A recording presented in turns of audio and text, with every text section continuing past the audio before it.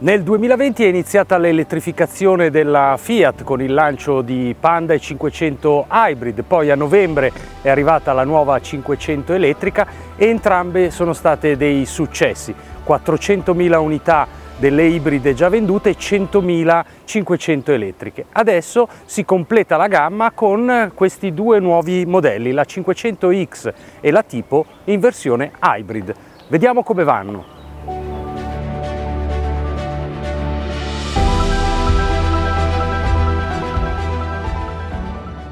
Dopo il 500 e Panda adesso la volta della 500X e della Tipo eh, per la motorizzazione ibrida. In questo caso si tratta di una nuova motorizzazione, la stessa adottata da Alfa Romeo Tonale, quindi un 1500 turbo da 130 cavalli eh, a cui viene abbinato un motore elettrico da 15 kW, circa 20 cavalli, per una potenza di picco, anche se per brevissimi eh, spunti di 150 cavalli e 250 Nm di coppia. Ma lo scopo di questo abbinamento non è certo quello di ottenere prestazioni che pure eh, sono brillanti su questa 500X che abbiamo in prova, bensì quello di ottenere dei consumi molto ridotti e in effetti eh, nel ciclo VLTP eh, queste vetture riescono a eh, camminare per oltre il 50% del tempo eh, senza avviare il motore a scoppio.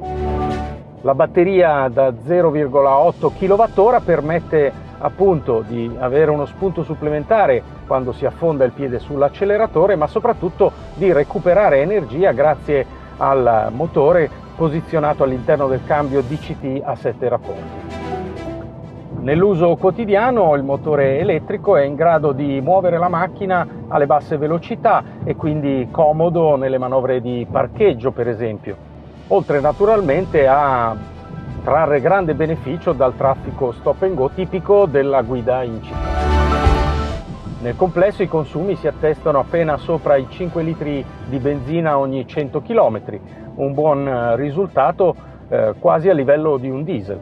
Pur con lo stesso hardware del motore Alfa Romeo, eh, la taratura di questo motore è più specifica per l'uso cittadino, eh, meno dinamico se vogliamo, anche se il peso gioca a favore della 500X eh, con un delta importante che la rende abbastanza scattante.